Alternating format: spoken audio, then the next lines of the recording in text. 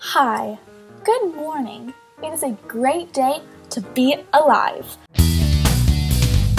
I'm your host, Nancy Lee Sanders, and I am going to make a little vlog about John Knowles and his book,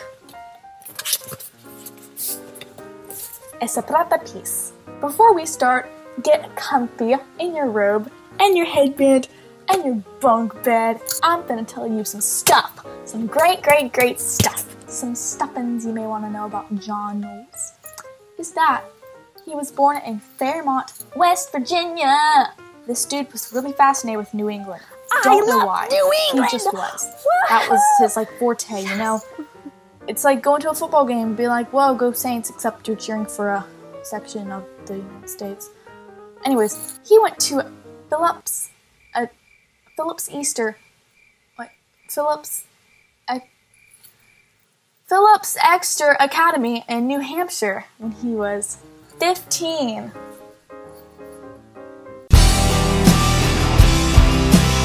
And this is pretty cool. He was like, oh my gosh, I'm in New Hampshire, New England.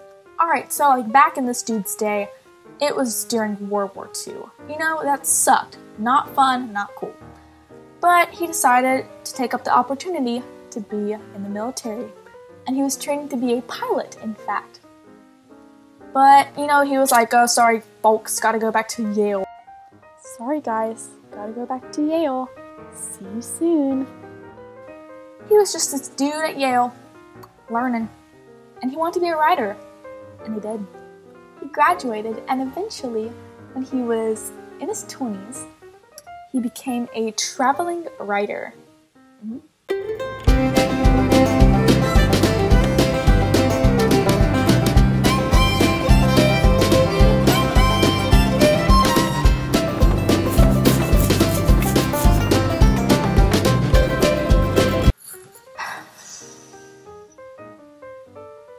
Now, this dude wrote stuff like Phineas and A Turn to the Sun. You may be asking, what the heck are those? Me too. But you probably do know A Separate Peace.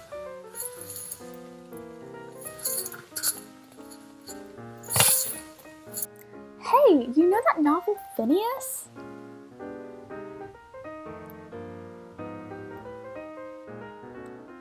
A Separate Peace?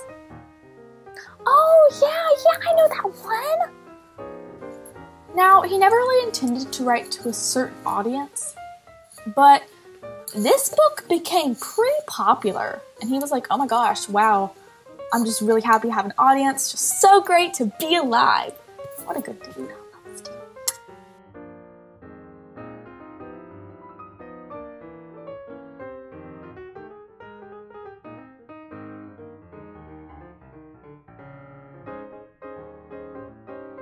How this related, how his life related to the story, it's not that complex, you know? Basically, a separate peace takes place during World War II. And what does he live through? So this was like an all-boys school in New England, and what is he obsessed with? New England.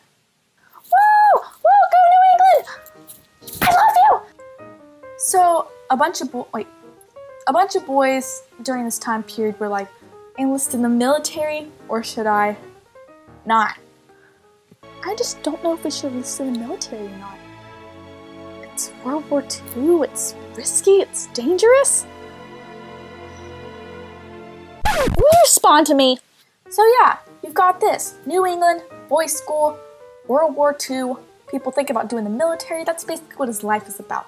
He was a dude that wrote about his life and his life experiences, and it kind of ties in with it.